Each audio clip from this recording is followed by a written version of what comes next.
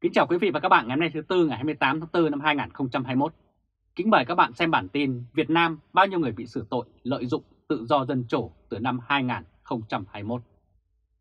Vào hôm 22 tháng 4, Tòa án Nhân dân quận Bình Thủy, thành phố Cần Thơ đã xét xử sơ thẩm và tuyên phạt bà Lê Thị Bình, sinh năm 1976, trú ở phường An Thới, quận Bình Thủy, thành phố Cần Thơ, 2 năm tù về tội lợi dụng các quyền tự do dân chủ, xâm phạm lợi ích của nhà nước, quyền lợi hợp pháp của các tổ chức cá nhân. Đây là trường hợp mới nhất bị đưa ra xét xử theo quy định tại Điều 331 Bộ Luật Hình sự vào năm 2015, được sửa đổi bổ sung vào năm 2017 của Việt Nam. Đây là hình ảnh bà Lê Thị Bình, sinh năm 1976, trú tại phường An Thới. Tại Điều 331 Bộ Luật Hình sự vào năm 2015 được sửa đổi bổ sung, có hiệu lực thi hành vào ngày 1 tháng 1 năm 2018, quy định về tội lợi dụng có quyền tự do dân chủ, xâm phạm lợi ích của nhà nước, quyền lợi ích hợp pháp của các tổ chức cá nhân như sau.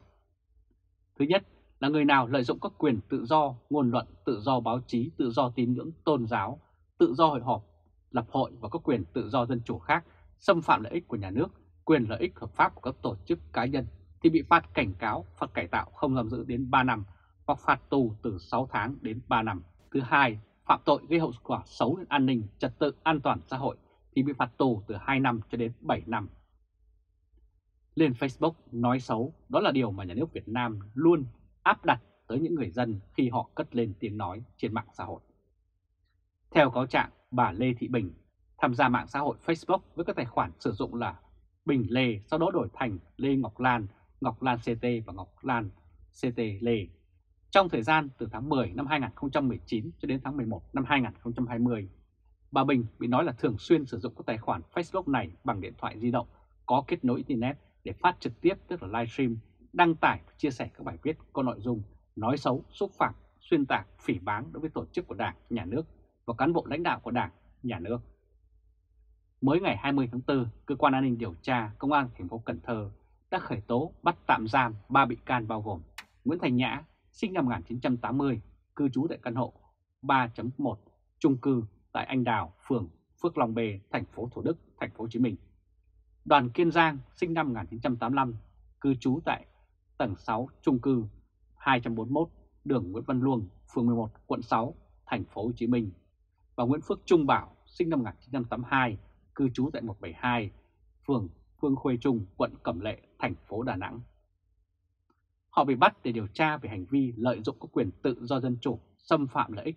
của nhà nước, quyền lợi ích hợp pháp của các tổ chức cá nhân được quy định tại Điều 331 Bộ Luật Hình sự vào năm 2015, sửa đổi bổ sung vào năm 2017. Công an thành phố Cần Thơ nói ba người này liên quan đến vụ án lợi dụng các quyền tự do dân chủ, xâm phạm các lợi ích của nhà nước xảy ra tại thành phố Cần Thơ và một số tỉnh thành do bị can Trương Châu Hữu Danh và đồng bọn thực hiện. Đây là hình ảnh nhà báo Trương Châu Hữu Danh. Trước đó vào ngày 17 tháng 12 năm 2020, Cơ quan An ninh Điều tra Công an thành phố Cần Thơ đã khởi tố bị can và thực hiện lệnh bắt đối với ông Trương Châu Hữu Danh, sinh năm 1982 tại ấp Vĩnh Hòa, xã An Ngãi, thành phố Tân An, tỉnh Long An, theo Điều 331, Điều luật của Việt Nam. Tại thành phố Hồ Chí Minh vào ngày 15 tháng 4, Tòa án Nhân dân quận Tân Phú, thành phố Hồ Chí Minh xử bị cáo Quách Duy, nguyên công chức Văn phòng Ủy ban nhân dân thành phố Hồ Chí Minh tuyên phạt 4 năm 6 tháng tù theo điều 331. Theo nội dung bị bị cáo Quách Duy đã đăng tải nhiều bài viết, hình ảnh lên Facebook, trong đó ba bài viết có xúc phạm nghiêm trọng danh dự, uy tín của nguyên lãnh đạo Đảng, Nhà nước, xuyên tạc, vu khống, xúc phạm lãnh đạo của thành phố. Vào ngày 13 tháng 4 tại Thanh Hóa đã xảy ra vụ khởi tố bị can bắt tạm giam ông Hồ Đình Tùng, Phó Chủ tịch Thường trực Hội đồng Nhân dân thị xã Nghi Sơn về tội lợi dụng các quyền tự do dân chủ, xâm phạm lợi ích của nhà nước, quyền lợi ích hợp pháp của tổ chức cá nhân. Vào ngày 3 tháng 4, Công an thành phố Hồ Chí Minh cũng khởi tố bị can và thi hành lệnh bắt tạm giam ông Nguyễn Hoài Nam, sinh năm 1973, sống tại thành phố Hồ Chí Minh để điều tra tội lợi dụng các quyền tự do dân chủ, xâm phạm lợi ích của nhà nước, quyền lợi ích hợp pháp của tổ chức cá nhân, cũng theo điều 331 Bộ luật hình sự năm 2015. Trước khi bị khởi tố tạm giam, ông Nguyễn Hải Nam đã đăng nhiều bài viết trong các vụ sai phạm xảy ra tại Cục Đường Thủy Nội địa Việt Nam, một số bài viết liên quan đến một số cá nhân đang công tác tại một số cơ quan tố tụng lên trên Facebook. Cũng vào ngày 30 tháng 3, Toán tỉnh Bình Định đã phạt 4 năm tù đối với ông Lê Văn Hải, 54 tuổi. Cáo trạng đã nói bị thu hồi đất nhưng không được bồi thường theo ý của mình. Ông Lê Văn Hải lên mạng xã hội nói xấu lãnh đạo đảng, nhà nước, chính phủ và Chủ tịch Ủy ban Nhân dân tỉnh Bình Định. Đây là hình ảnh ông Lê Văn Hải ở Bình Định. Vào ngày 10 tháng 2, Công an Quảng Trị cũng bắt tạm giam ông Phan Bùi Bảo Thi, sinh năm 1971, trưởng văn phòng đại diện miền Trung Tây của các báo giáo dục và thời đại tại Đà Nẵng. Ông Thi bị bắt tạm giam vì hành vi lợi dụng các quyền tự do dân chủ, xâm phạm lợi ích của nhà nước, quyền lợi ích hợp pháp của tổ chức cá nhân quy định tại Điều 331 theo thông báo cho biết. Và gần đây, ba thành viên của nhóm báo sạch cũng bị bắt và dư luận đã nói gì? Các nhà báo Nguyễn Thanh Nhã, Nguyễn Phước Trung, Bảo và Đoàn Kiên Giang bị bắt liên quan đến hoạt động của nhóm báo sạch làm rung động dư luận. Ba nhà báo này đã bị cơ quan an ninh điều tra Công an thành phố Cần Thơ khởi tố bắt tạm giam 20 tháng 4 về hành vi lợi dụng các quyền tự do dân chủ, xâm phạm lợi ích nhà nước, quyền lợi lợi ích hợp pháp của tổ chức cá nhân. Cũng theo thông tin do công an công bố, ba người bị bắt có gồm ông Nguyễn Thanh Nhã, sinh năm 1980, ông Nguyễn Phước Trung Bảo, sinh năm 1982 và ông Đoàn Kiên Giang, sinh năm 1985.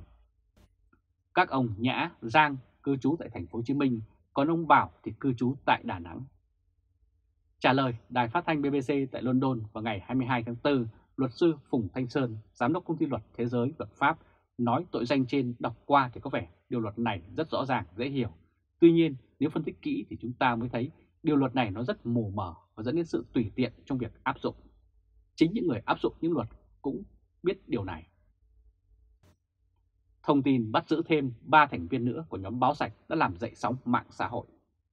Trang Facebook Lê Nguyễn Hưng Trà viết tiếp, việc bắt gần cả nhóm điều này đã gây rung động mạnh với giới truyền thông ngay gần kề ngày bầu cử Quốc hội năm 2021.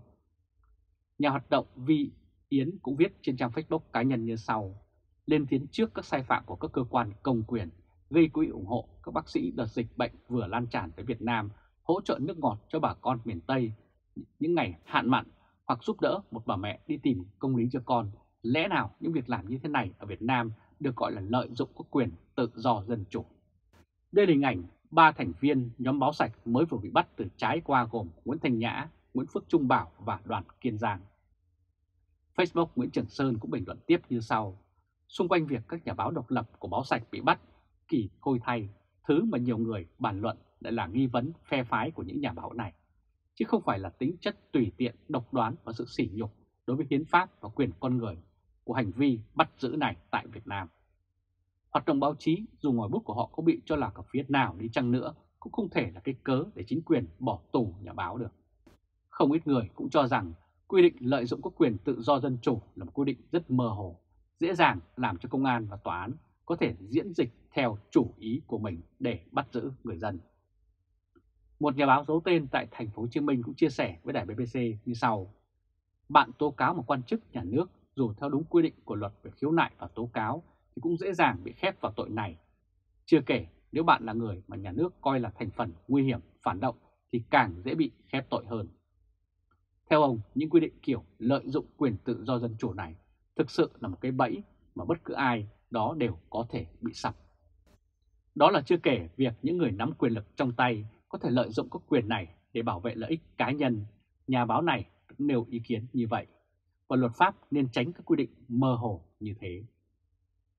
Trang Facebook cá nhân của Lê Nguyễn Hưng Trà cũng cho biết nhóm báo sạch ra đời vào năm 2019 sau vụ việc của doanh nghiệp Asanzo trên báo Tuổi Trẻ. Thành viên nhóm này bao gồm các nhà báo và đã gây nhiều tiếng vang, nhanh chóng đạt được những lượng theo dõi khủng. Hồi đầu tháng 4 năm 2021, nhà báo Nguyễn Hoài Nam người mà theo báo Công an nhân thành phố Hồ Chí Minh là từng viết một số bài điều tra gây tiếng vang cũng bị bắt với tội danh y hệt. Đây là hình ảnh nhà báo Nguyễn Hoài Nam.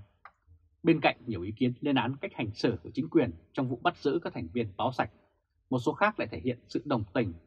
Một số trang mạng được cho là của dư luận viên của chính quyền Việt Nam quản lý như Hội Cờ Đỏ Thành phố Hồ Chí Minh đã đưa tin theo chiều hướng ủng hộ công an. Và chính quyền đã nói điều gì là câu hỏi được đặt ra